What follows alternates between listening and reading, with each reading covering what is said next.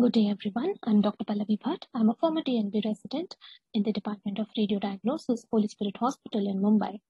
And today I will be presenting an interesting case under the guidance of our HOD, Dr. Shampa Brahmachari. It is about a usual complication, but in an unusual organ.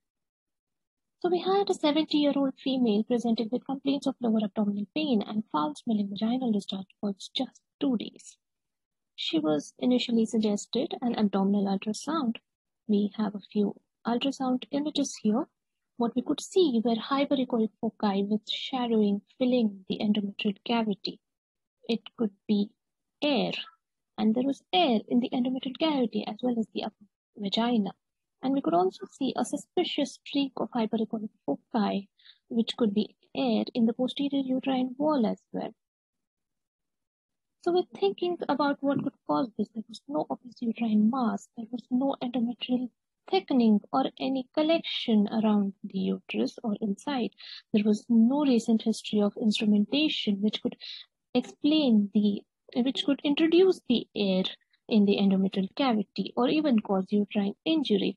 The patient also did not have any fever, uh, which could uh, explain an infective pathology she also did not have any bowel related complaints, but the possibility of an enterouterine fistula was raised. An infective pathology, which could result in gas formation, was deemed to be less likely. She was suggested uh, a computed tomography or CT for further clarification of the pathology. She also later underwent an MRI as part of preoperative assessment.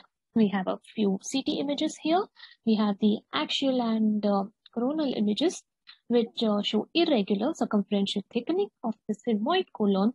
There is surrounding fat stranding and loss of fat plane with the posterior aspect of uterus. We can see air within the endometrial cavity.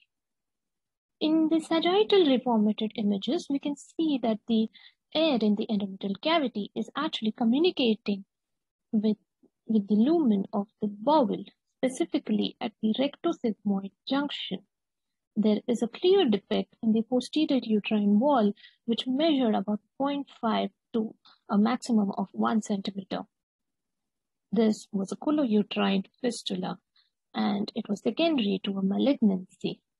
And with majority of the signs centering around the colon, uh, we could say that it was a colonic malignancy rather than a uterine malignancy.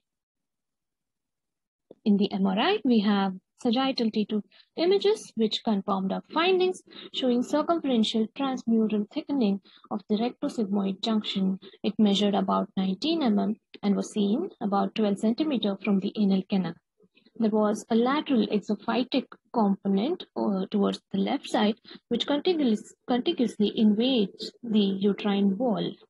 At the time of MRI examination, there were multiple small air pockets as well.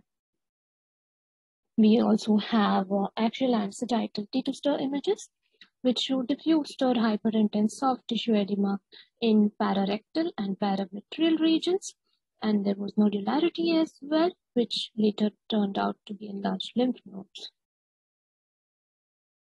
Initially, the patient underwent a colonoscopy with biopsy of uh, visible growth at the rectosigmoid junction, which revealed moderately differentiated adenocarcinoma, which was not surprising. She underwent a radical sigmoidectomy and hysterectomy with bilateral salpingo-oophorectomy Histopathology confirmed moderately differentiated adenocarcinoma of sigmoid colon and rectum infiltrating the serosa as well as the myometrium, which was a pathological T4B. So what do we know about colorectal carcinoma? It's a relatively common cancer. In India, the annual incidence rates for colon cancer are 4.4 and 3.9 per 1 lakh men and women respectively. Five-year survival rate of colorectal cancer in India is one of the lowest in the world at less than 40%. Accurate staging is essential for determining the optimal treatment strategies and planning appropriate surgical procedures. Ultrasound is commonly the initial screening modality based on the presentation. CT is used to evaluate distant metastasis while MRI is used for to evaluate locoregional extension to assess circumferential resection margin available. The risk of recurrence and optimal therapeutic strategy also depend on MRI. Complications of colorectal cancer include obstruction, perforation, abscess formation, ischemic colitis, intussusception, and we see here fistula formation. What we see here is a colo-uterine fistula, which is very rare, mostly secondary to colonic diverticulitis, but other causes can include malignancy or radiotherapy or even iatrogenic, mostly due to insertion of intrauterine devices or endometrial curettage causing uterine and bowel perforation. Obstetrical injuries can also cause a fistula. It should always be suspected when patient presents with malodorous discharge from the vagina. It can be diagnosed by air and fluid within the uterus on ultrasound or CT scan. However, a CT scan is essential after an ultrasound for an accurate preoperative assessment. Surgical treatment is indicated in almost all patients except in very high risk cases.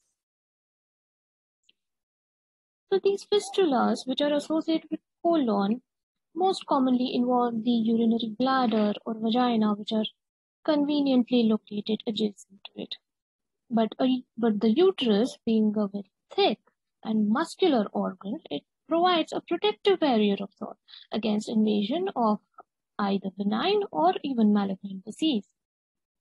An interesting fact is that the thickness of uterus makes it the last organ to putrefy post-mortem in the female body.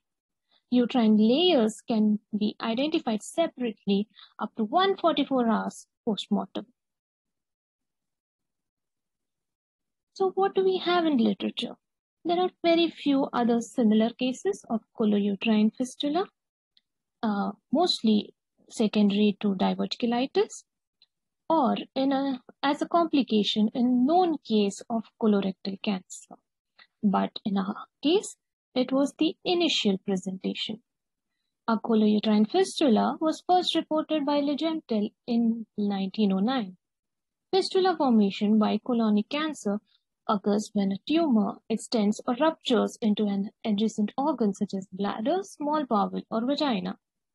The diagnosis is easily made with clinical history and abdominopelvic CT scan, which reveal the presence of gas collection within the uterine cavity.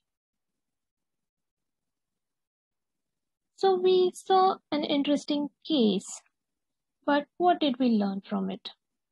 Malignant invasion and fistulation usually take the path of least resistance, but malignancy does not spare even a resistant organ like uterus. Fecal vaginal discharge may be due to colouterine or colovaginal fistula. They can also present as passage of gas or pus per vaginum. The patient may not be able to differentiate of passage of gas or pus per vagina or per rectum. It should be suspected in any patient with persistent vaginal discharge as well. Screening of colorectal as well as endometrial cancers should be encouraged to facilitate early diagnosis and treatment. I'd like to highlight the importance of screening programs. In a developing country like India, it is more so important to have good screening programs for the common cancers like breast, prostate, cervical cancers, or even oral cancers. As we know, early detection can uh, better the cure rates and reduce the morbidity as well, also reducing the burden on the health system. We have the availability of uh, screening modalities, be it radiological or biochemical, serological, and we know that effective screening programs are running in other parts of the world. What we need to do is educate and raise awareness, make these screening programs more accessible and affordable, include them in our health programs and actually implement them. And as we know, we radiologists form a big part of these implementation. Together, I hope we can and we should beat cancer. Thank you.